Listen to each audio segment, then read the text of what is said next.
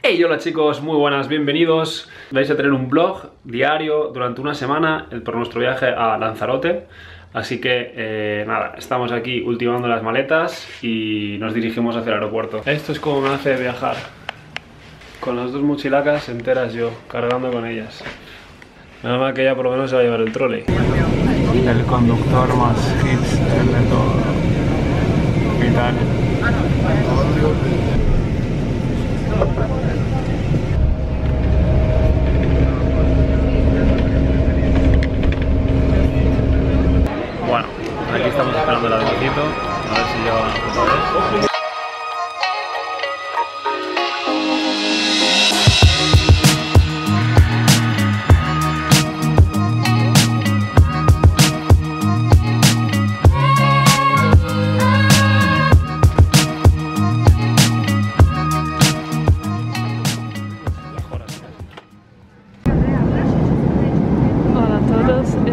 Sergio.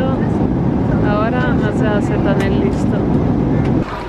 Bueno chicos, pues ya hemos llegado. Ahora nos dirigimos a coger nuestro cochecito de alquiler. No sé dónde tenemos que ir, pero bueno, ahora vemos qué coche nos dan y cómo gestionamos todo. Obviamente nuestra compañía es la única que tiene cola. ¿Por qué será? Este es nuestro, nuestro coche, nuestro cochecito. ¡Ay, qué cochecito más bueno! Ya está Fran haciendo una historia. En lugar de grabar los, No, las estoy grabando Sí, a sí. gilipollas. Gilipollas. Mira qué puestita.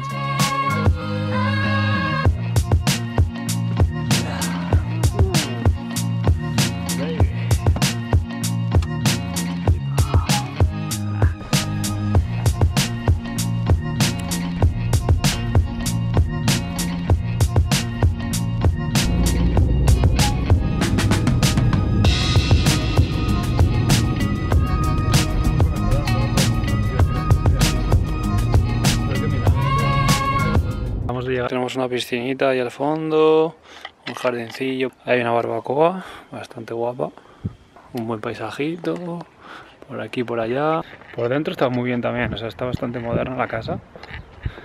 Ahora os voy a enseñar.